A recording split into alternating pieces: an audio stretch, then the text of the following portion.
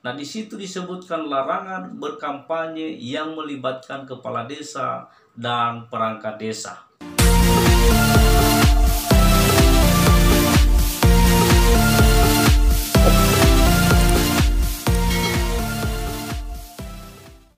Halo pemirsa, jumpa lagi dengan Bang Laia di channel Belajar Hukum Official. Nah, topik kita kali ini adalah membahas tentang larangan berpolitik bagi kepala desa dan perangkat desa. Nah, apalagi terlibat dan ikut serta dalam kampanye mendukung salah satu paslon termasuk berkampanye lewat media sosial. Nah, itu jelas melanggar aturan dan dapat dikenakan sanksi administratif dan juga bisa dipidana. Nah, kalau kita lihat di dalam Undang-Undang Nomor 6 Tahun 2014 tentang desa, nah di situ telah diatur tentang larangan-larangan bagi kepala desa dan perangkat desa terlibat ya sebagai pengurus partai politik dan atau juga terlibat dalam kampanye-kampanye politik atau kegiatan-kegiatan politik. Nah, mari saya bacakan ke kita. Di situ dijelaskan ya di pasal 29-nya dijelaskan bahwa kepala desa dilarang yang pertama ya merugikan kepentingan umum. Yang kedua, membuat keputusan yang menguntungkan diri sendiri, anggota keluarga, pihak lain dan atau golongan tertentu. Yang ketiga, menyalahgunakan wewenang, tugas, hak dan atau kewajibannya. Yang keempat, melakukan tindakan diskriminatif terhadap warga dan atau golongan masyarakat tertentu. Yang kelima, melakukan tindakan merusakkan sekelompok masyarakat desa. Yang keenam, melakukan kolusi korupsi dan nepotisme, menerima uang, barang dan atau jasa dari pihak lain yang dapat mempengaruhi keputusan atau tindakan yang akan dilakukannya. Ketujuh, menjadi pengurus partai politik yang kedelapan, menjadi anggota dan atau pengurus organisasi terlarang. Yang kesembilan, merangkap jabatan sebagai ketua dan atau anggota Badan Permusyawaratan Desa, anggota Dewan Perwakilan Rakyat Republik Indonesia, Dewan Perwakilan Daerah Republik Indonesia, Dewan Perwakilan Rakyat Daerah Provinsi atau Dewan Perwakilan Rakyat Daerah Kabupaten Kota, dan jabatan lain yang ditentukan dalam peraturan perundang-undangan. Yang ke-10, ikut serta dan atau terlibat dalam kampanye pemilihan umum dan atau pemilihan kepala daerah. Yang ke-11 melanggar sumpah atau janji jabatan dan yang ke-12 meninggalkan tugas selama 30 hari kerja berturut-turut tanpa alasan yang jelas dan tidak dapat dipertanggungjawabkan.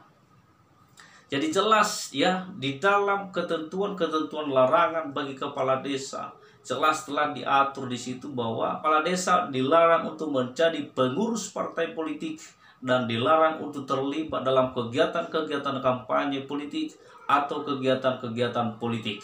Nah, maka bisa dikenakan sanksi dan bisa dipidana.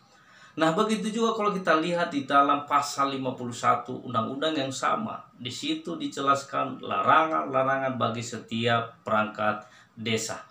Nah di poin ketujuh dan di poin ke sepuluhnya disebutkan bahwa perangkat desa dilarang untuk menjadi pengurus partai politik dan di poin ke sepuluhnya disebutkan bahwa perangkat desa dilarang ikut serta ya dalam kegiatan kampanye pemilihan umum dan kampanye pemilihan kepala daerah.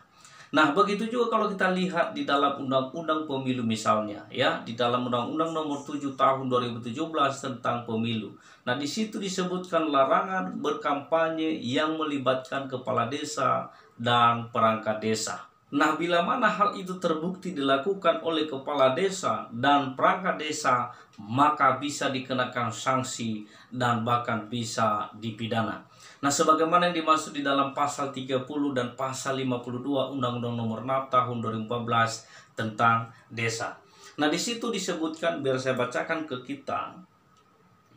Ya, di ayat yang pertama mengatakan bahwa Kepala desa yang melanggar larangan sebagaimana dimaksud dalam pasal 29 dikenai sanksi administratif berupa teguran lisan dan atau teguran tertulis. Ya, di ayat kedua dalam hal sanksi administratif sebagaimana dimaksud pada L1 tidak dilaksanakan, dilakukan tindakan pemberhentian sementara dan dapat dilanjutkan dengan pemberhentian. Nah, kemudian berikut di pasal 52-nya disebutkan bahwa yang pertama, perangkat desa yang melanggar larangan sebagaimana dimaksud dalam pasal 51 dikenai sanksi administratif berupa teguran lisan dan atau teguran tertulis.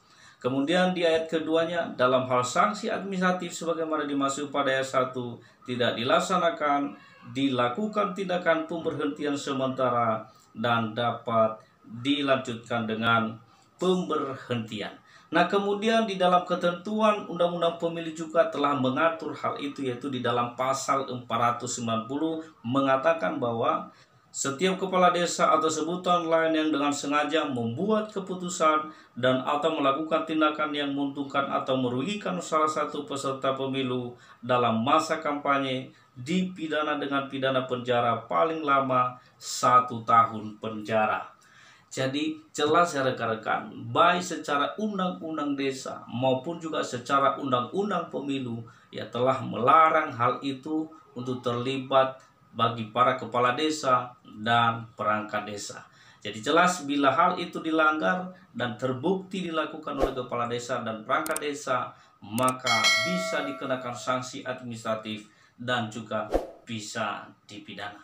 Jadi saya kira demikian penjelasan singkat dari saya. Semoga bermanfaat bagi rekan-rekan sekalian. Sampai ketemu pada video saya berikutnya. Markus, mari kita kupas.